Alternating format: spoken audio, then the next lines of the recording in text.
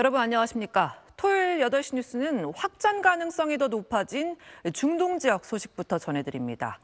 레바논 무장정파 헤즈볼라를 향해 맹폭을 이어가고 있는 이스라엘이 이번엔 헤즈볼라 지휘본부를 공습했습니다. 32년째 헤즈볼라를 이끌어온 최고 지도자 나스랄라를 제거했다고 공식 발표했습니다. 파리 곽상은 특파원이 저 소식 전하겠습니다. 이딴 폭발음과 함께 검붉은색 거대한 연기 구름이 상공을 뒤덮습니다. 이스라엘군이 현지 시간 27일 레바논 수도 베이루트 교의 다이에 지역을 공습했습니다. F-35 전투기와 미국산 벙커버스터 등이 대규모로 동원된 이번 공습으로 고층 아파트 6채가 완전히 무너져 내렸습니다.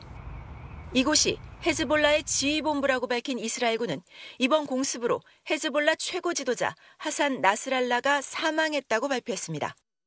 זה לא סוף ארגז הכלים, זה צריך להיות מאוד ברור. יש עוד כלים קדימה ללכת.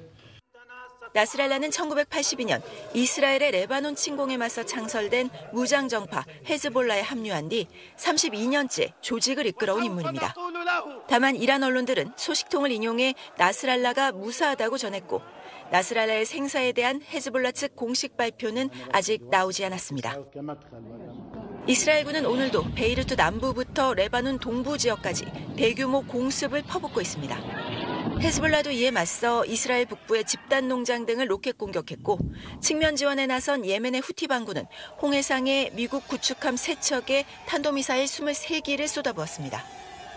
긴장이 급격히 고조되면서 바이든 미국 대통령은 중동 지역에 주둔 중인 미군의 태세 조정을 명령했습니다. 파리에서 SBS 곽상은입니다.